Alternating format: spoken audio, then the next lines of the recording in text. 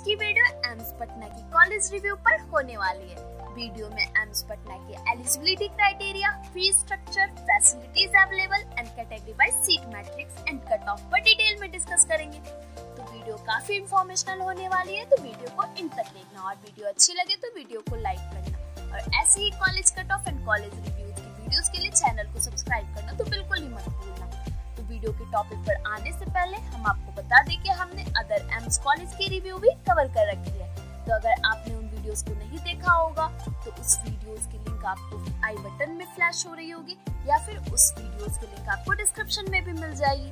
तो पहले हम एम्स पटना की ओवरव्यू पर आते हैं। So All India Institute of Medical Sciences Patna AIIMS Patna is a medical college and medical research public institute AIIMS Patna started opening on 25th of September 2012. AIMS Patna की motto की बात करें तो इसकी motto है let all be healthy AIIMS Patna एक public medical type college है and AIMS Patna was established in year January 3rd 2004 almost 18 years ago. AIIMS Patna में टोटल एकेडमिक स्टाफ्स की बात करें तो यहाँ टोटल एकेडमिक स्टाफ्स 136 है।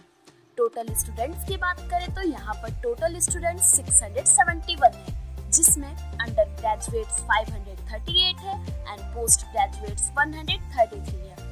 एम्स पटना की लोकेशन की बात करें तो ये पटना बिहार में लोकेटेड है और इसकी कैंपस टाइप अर्बन है। एम्स पटना की कैंपस एरिया 134 एकड़ की है। एम्स पटना की official website AIIMS Patna dot E D U dot in है।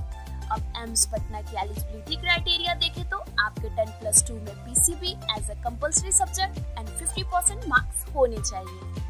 एम्स पटना के फ़ीस स्ट्रक्चर पर आए तो इसकी टोटल फ़ी फाइव टू 6000 होती है फुल कोर्स के लिए। इसमें हॉस्टल फ़ी इंक्लूडेड होती है बट मेस के लिए आपको सेपरेटली पे करना होगा। मेस फ़ी 38 टू 40000 पर ईयर होती है। एम्स पटना की फैसिलिटीज़ देखें तो यहाँ। Auditorium hostel for both UG and PG students canteen mess gym library और लेबोरेटरीज एक्सेट्रा सारी फैसिलिटीज़ अवेलेबल है। अब एम्स पटना की कैटेगरी वाइज सीट मैट्रिक्स देख लेते हैं। तो जनरल के लिए 50 सीट्स अवेलेबल है जनरल पीडब्ल्यूडी के लिए 3 सीट्स अवेलेबल है ओबीसी के लिए 31 सीट्स अवेलेबल है ओबीसी पीडब्ल्यूडी के लिए 2 सीट्स अवेलेबल है ईडब्ल्यूएस के लिए 11 सीट्स अवेलेबल है ईडब्ल्यूएस पीडब्ल्यूडी के लिए 1 सीट है एससी के लिए 18 सीट्स है एंड एसटी के लिए 9 सीट्स अवेलेबल है। तो नेक्स्ट अब हम एम्स पटना की एक्सपेक्टेड कट ऑफ़ 2022 पर आते हैं। तो जनरल के लिए यहाँ 2232 रैंक थी नीट 2021 में, जिसमें मार्क्स थे 664 एंड एक्सपेक्टेड 2022 में 668 तक हो सकती है। जनरल पीडब्ल्यूडी के लिए यहाँ पे two lakh fifty four thousand four hundred twenty one rank थी नीट 2021 में। जिसमें मार्क्स थे 355 एंड एक्सपेक्टेड 2022 में 358 तक हो सकती है। ओबीसी के लिए यहाँ 2723 रैंक थी नीट 2021 में, जिसमें मार्क्स थे 660 एंड एक्सपेक्टेड 2022 में 664 तक हो सकती है। ओबीसी पीडब्ल्यूडी के लिए two lakh sixty thousand four hundred seven rank थी नीट 2021 में।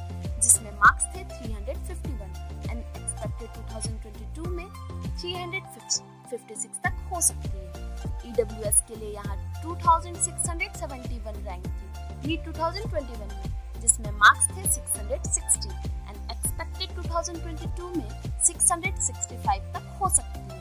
ईडब्ल्यूएस पीडब्ल्यूडी के लिए यहाँ पे 98,479 रैंक थी। नीट 2021 में जिसमें मार्क्स थे 485 एंड एक्सपेक्टेड 2022 में 488 तक हो सकती है। एससी के लिए यहाँ पे 22,054 रैंक थी नीट 2021 में जिसमें मार्क्स थे 593 एंड एक्सपेक्टेड 2022 में 598 तक हो सकती है। S C P W D के लिए यहाँ पे five lakh twenty nine thousand eight hundred seventy nine rank थी नीट 2021 में जिसमें मार्क्स थे 212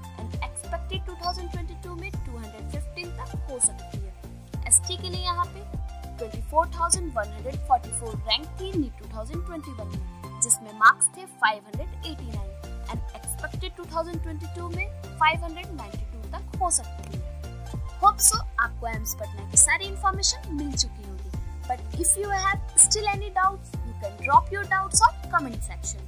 So click on the subscribe button and bell icon to receive the notification on your favorite colleges, college comparison, courses information, career option and so on. Thank you so much for watching and don't forget to like and share this video with your friends.